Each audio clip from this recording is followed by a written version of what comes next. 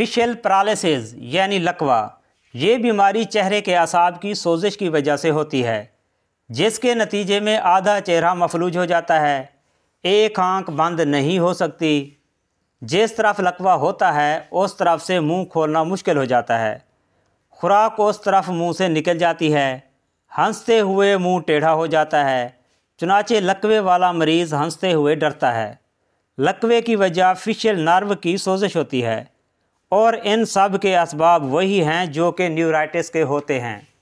आम तौर पर लकवा गर्म, सर्द हो जाने से या र्यूमटिज़म की वजह से होता है। विटामिन बी एक की कमी भी इसका सबब बन सकती है। अगर कान अरसे तक बहता रहे तो वो भी इसका सबब बन सकता है। लकवा आम तौर पर आहिस्ता आहिस्ता ठीक होता है।